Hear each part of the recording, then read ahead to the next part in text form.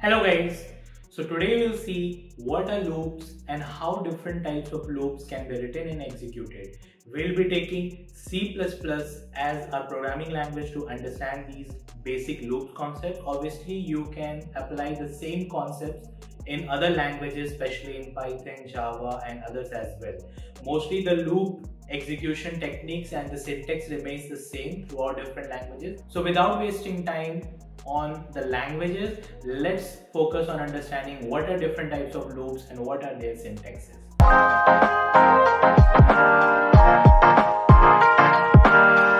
So what is a loop? A loop is a particular way of bringing iteration into your code. Now what do I mean by iterations? Suppose you have a particular code of say 10,000 lines now you want to execute this particular 10,000 lines, this particular code, this piece of 10,000 lines, say 1500 times. Fine. When you do the math, it tells us that it is equivalent to writing 1.5 million lines. Well, that becomes really hell when you think of writing 1.5 million lines. Being as a programmer, can we optimize it in a better way? Obviously, let us see how. The catch here is that the 10,000 lines that we initially talked about, about, right? This is a repetitive part. How? So let's assume it in a very simple way that let's reduce this for the understanding purpose. Let's reduce this particular code of 10,000 lines to a single line. Now if you see on the screen, suppose if I want to print my name right? Suppose the function is printing my name. So now if I say cout, cout is a way of printing names in C++ obviously. And suppose I print my I print AttainU, right? Obviously with a new line. Now if I execute this, I see that AttainU is printed once, right? So this is a function executed once. So let's say now we want to print this particular line that is AttainU say five times.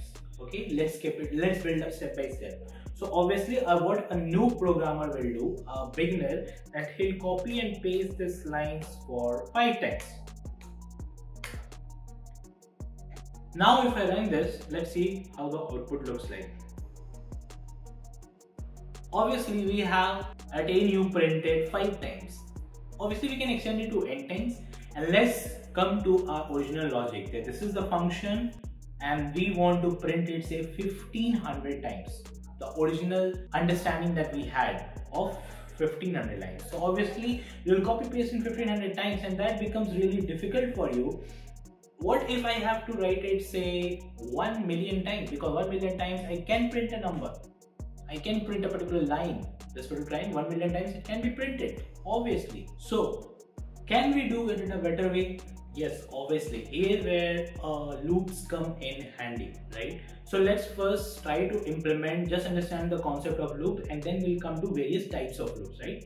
So let's say i want to print it right? So what i'll do i'll ask my c++ to run a particular code for n times. How can i do it so i'll use a loop. This is the syntax or a loop. Don't get into intricacies into it. For int i equals to 0 say i less than 10 now this is important right? Just keep on watching how it's happening. And then we simply write cout AttainU with our new line. Now what is the similarity between the previous code and this code the only thing is that this is my particular code which remains the same right? Only thing is I have included some some kind of programming struct around it right? A kind of programming I would say definition around it. Now what it does just see how it's how what output it let's look like. If you count it this total AttainU is printed 10 times. Basically what I'm telling my loop to do that you start from 0 you go on increasing i by 1 at each time and then up till when up till the value of i becomes 10 right right? So obviously using this kind of technique will help you to reduce the number of lines of code that you need to write, especially when there is a repetition in the code that you want to write.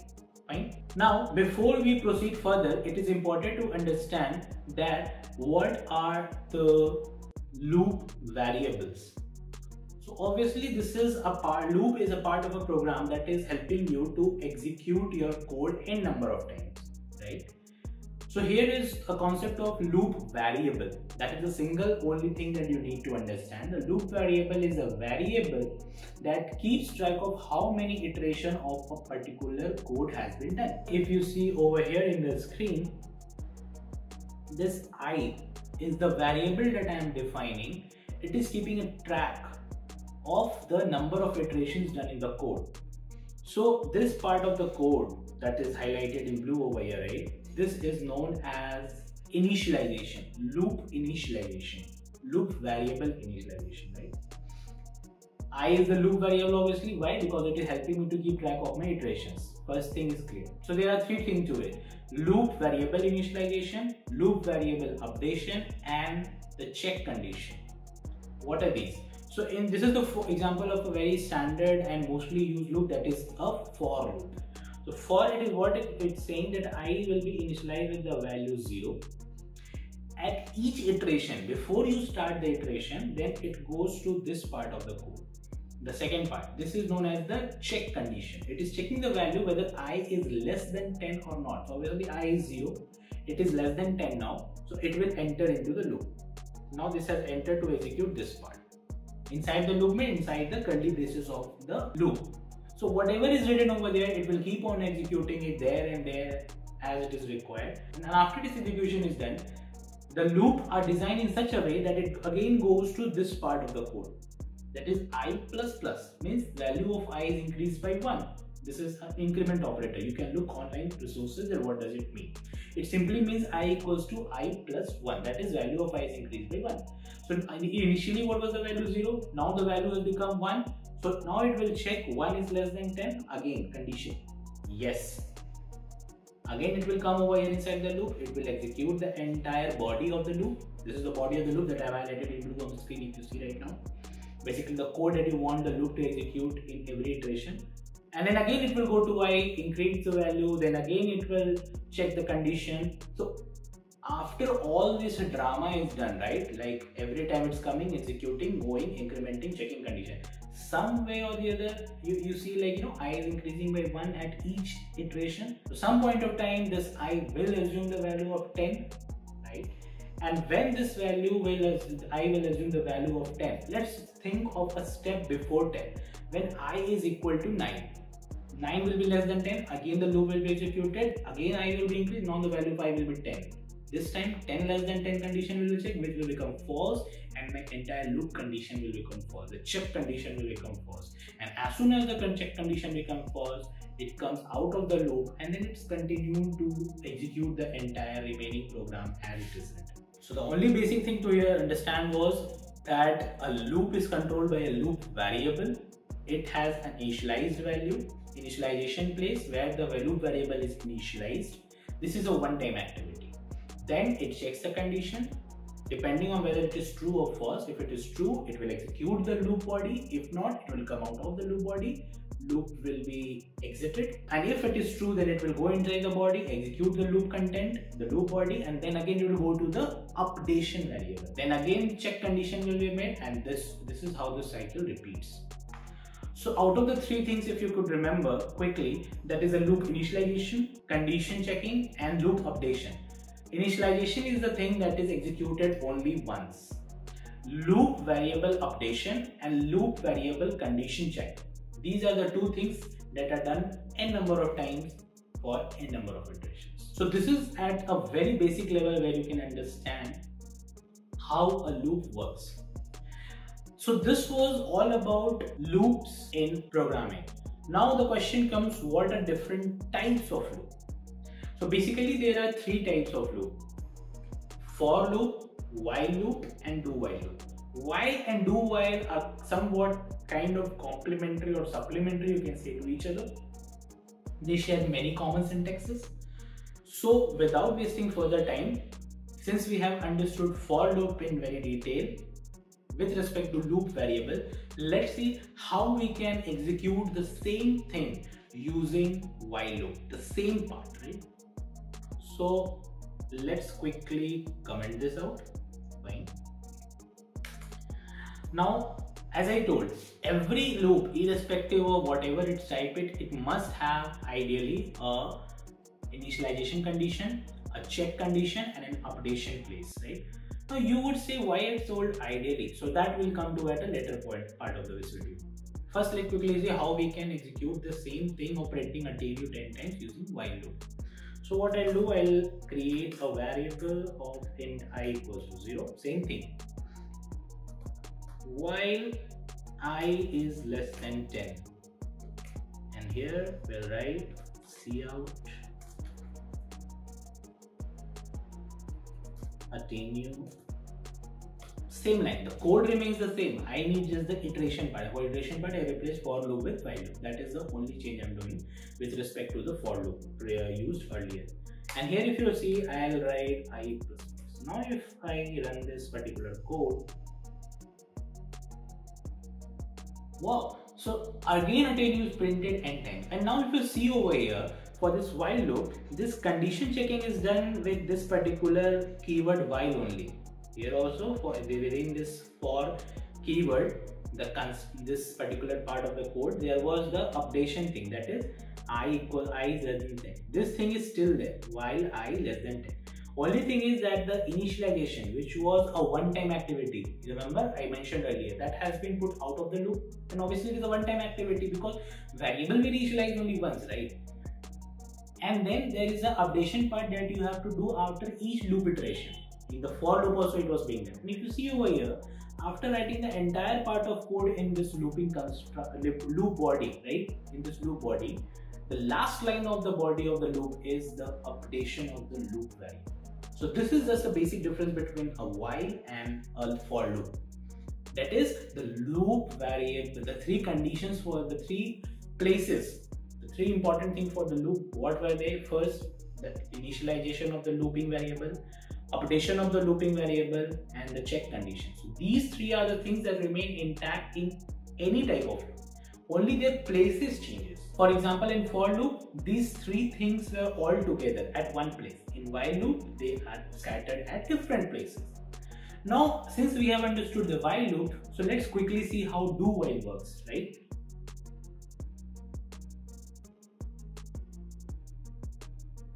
So for your better understanding, I'm just copy pasting the same loop and you will see that very minor differences are there.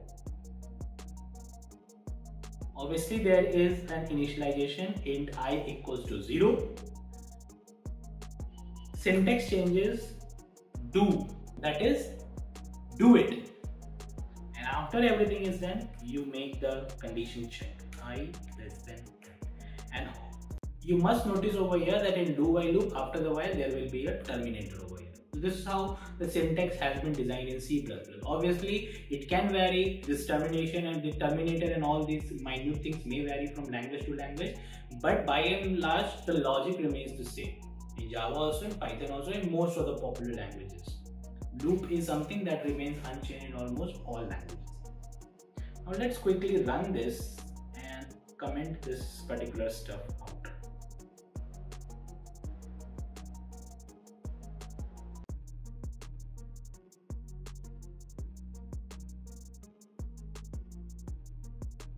So if you see over here, again this particular thing that is AttainU has been printed 10 times.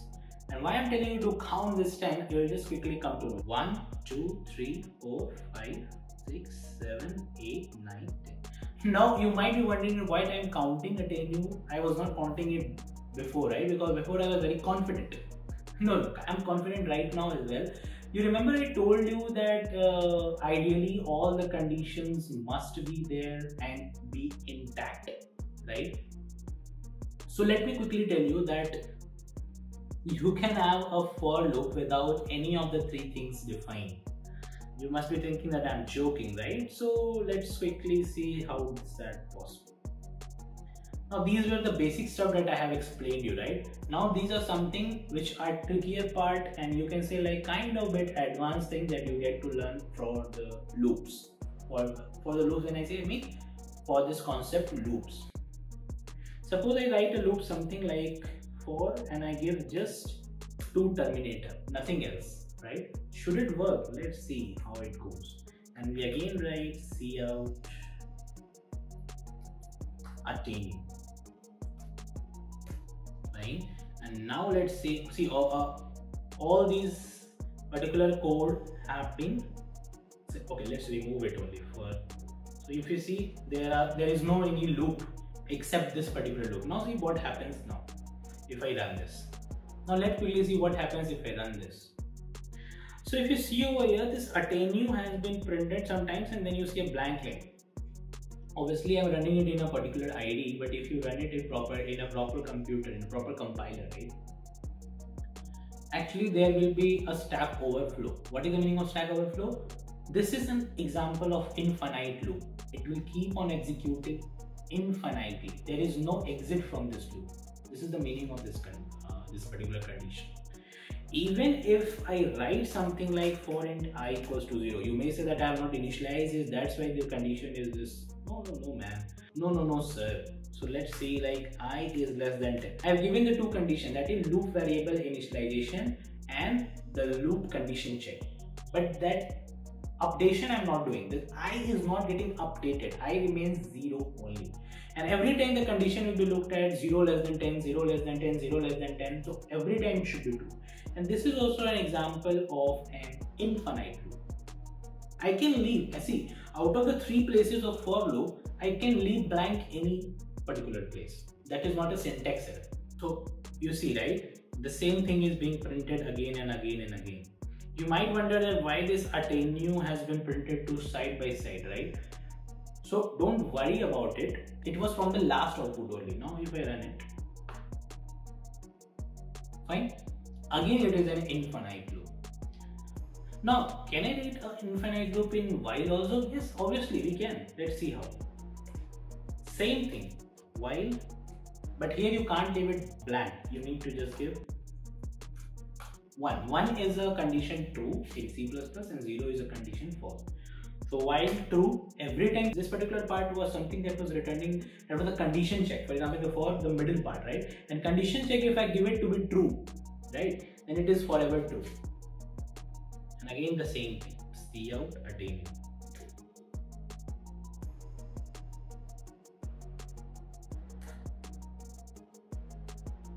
let's see what the output looks like.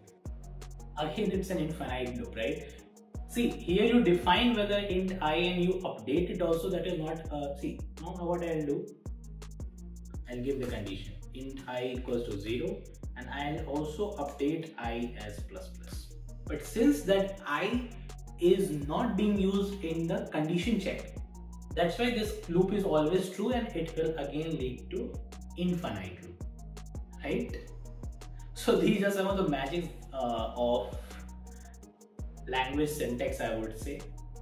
The capabilities of a language. Again, it's an infinite loop. So this was regarding the finite and infinite loop. One last thing which I will like to tell you that since while and do while are exactly the same, right? If you see from the example, then why they were designed in the first place. So the very basic thing is that while and do while, out of these two, that while and do while, out of these two, do while is a type of loop that will execute exactly once even if the condition is false. Now what do I mean by that? Let's see. So suppose I take a condition where I define the variable int i equals to 10 fine. Now I write two conditions. While i is less than 10 10 is less than 10 this is a false condition right? So ideally this particular struct should not be executed. And to distinguish between while and do while loop body let's give different messages in there. For example like here we can give cout inside while loop fine and second is the do condition I'm writing the same code. i variable remains, the loop variable remains the same for both of these. And here I'll write the same thing but a different message so that we can differentiate these two different loop bodies inside say do while fine and here we will give the condition while i is less than 10 so if you see over here i have given the same looping condition in both of these two loops right? Now let's see first the input and then i'll explain you what i was trying to say.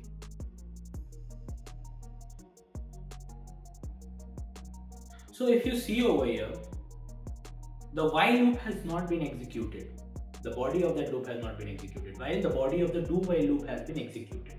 Why is it so? Because see i have been given the value as 10 in line number 7 what's happening is in line number 7 over here the while loop what's happening is that first the condition is being checked and then it is going inside.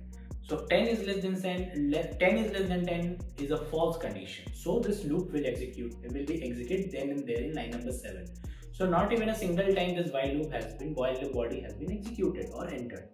However, if you see from line number 11 onward, that is the do while loop, when it gets entry in line number 11 inside the loop body, it just say enter it, right? Do, enter the loop.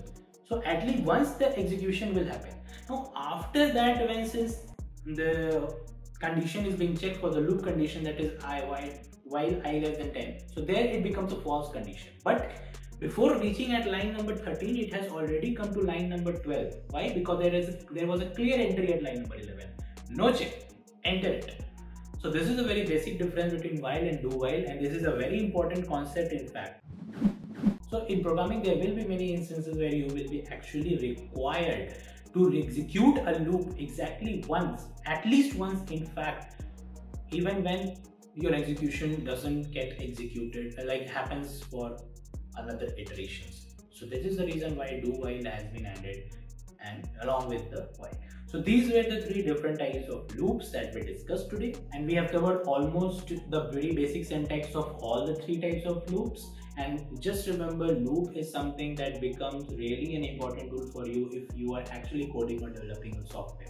So understanding the loops its syntaxes and when to use which type of loops to use becomes all together very important for you. So these are just the basics. So you can just uh, look for online resources even at AttainU we have data structures and algorithm course where we explain various programming concepts over there. You can try that. Until then keep coding. Thank you.